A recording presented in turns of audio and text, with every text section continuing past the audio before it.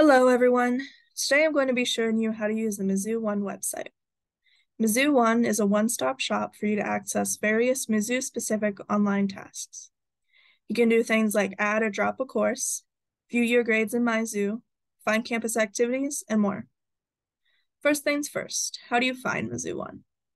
To get to the Mizzou One website, use the URL mizzou1.missouri.edu or simply type Mizzou One into your web browser. Once you do that, you'll be taken to the homepage. From here, you can log in using your Mizzou paw print and password in the top right corner. When you do this, you'll be able to personalize your Mizzou One experience. Now, we'll do a quick overview of the homepage.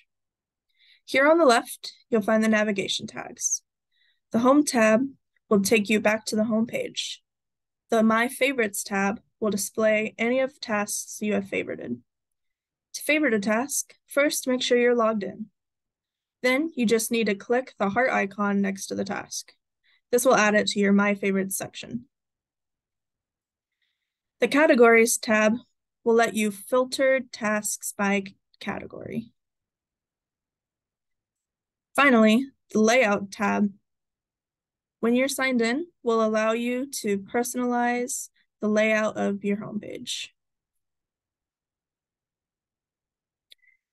On the right, you'll see the announcements. When you click on an announcement, it'll open the task that correlates to that announcement.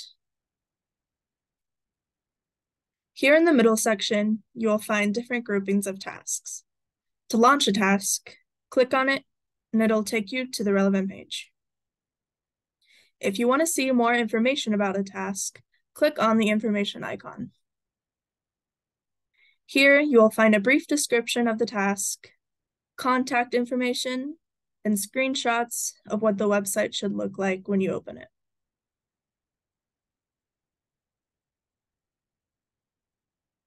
The last thing I'm going to cover today are task centers. If you scroll down on the homepage, you'll find a section labeled Task Centers.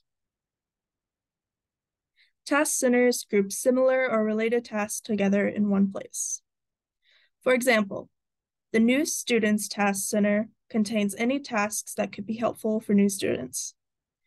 When you click on the Task Center, the tasks are further divided into different categories, making it easy to find what you need.